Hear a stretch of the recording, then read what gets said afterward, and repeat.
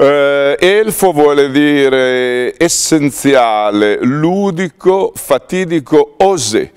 Quindi mi piace pensare che sia essenziale, che sia necessario, che sia ludico dove si gioca, jouer vuol dire recitare e eh, osé vuol dire che faccia vedere anche le nude verità degli attori, dei testi, quindi sperimentale, avanguardia, come lo si può descrivere? Entrando c'è una galleria, l'unica che c'è, le altre non ci sono, c'è un grande atto, ci sono persone di marmo, no c'è marmo che le persone calpestano e c'è un eh, trisale, quindi saporito in questo senso, cibo per la mente nelle sale e cibo eh, al piano terra per chi vuole pensare allo stomaco. Ma siccome qua non si parla alla pancia ma si parla alla testa, direi che uno dei teatri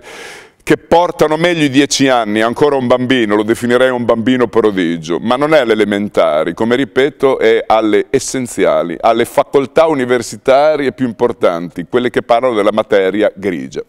All'Elfo auguro di costruire una platea a castello, come dico sempre da quando sono venuto fino a dieci anni a questa parte. Mi piacerebbe che la gente non andasse più via, auguro che la gente si fissasse su questi posti e lasciasse che entrare altra gente però senza liberare i posti, ma gli saltasse sopra le spalle, perché avere la platea Castello significa, e mi piacerebbe che fosse il primo teatro in Italia a farlo, significa poter sentire il peso di una persona sulle proprie spalle, sentire questo peso ha un significato doppio e triplo.